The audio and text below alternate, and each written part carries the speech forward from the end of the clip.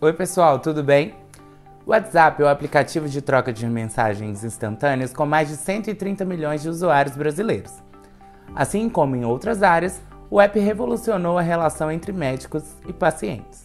Você sabe que é cada vez mais comum a troca de mensagens de texto e voz, fotos e vídeos entre médicos e pacientes, mas algumas questões éticas devem ser levadas em consideração antes de estabelecer esse tipo de comunicação.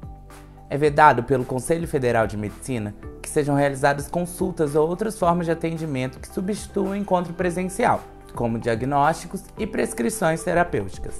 Por esse motivo, muitos profissionais têm receio em utilizar a ferramenta, mas o WhatsApp pode ser sim utilizado a favor do relacionamento com seus pacientes.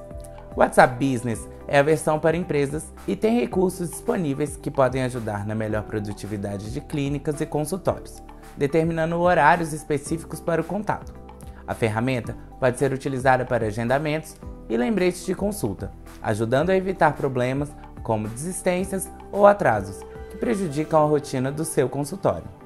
É possível também enviar materiais didáticos e informativos sobre sua especialidade, compartilhando conteúdos de interesse dos pacientes, respondendo dúvidas que surgem após a consulta presencial, encaminhar mensagens em datas comemorativas como aniversário ou mesmo campanhas de conscientização sobre cuidados com a saúde também são estratégias simples para se tornar mais próximos dos seus pacientes. Lembre-se sempre de adicionar contatos apenas de pacientes que autorizem o recebimento de mensagens, para não acabar demonstrando o contrário do seu objetivo.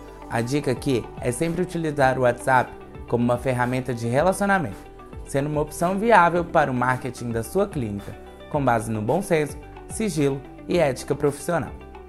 Na descrição do vídeo vou deixar alguns links de materiais do nosso blog, para que você saiba como utilizar o WhatsApp e outras redes sociais para atrair e fidelizar mais pacientes. Se você tiver alguma dúvida ou sugestão, pode deixar aqui nos comentários do vídeo ou nos enviar pelas redes sociais da Post Digital. Um abraço e até mais!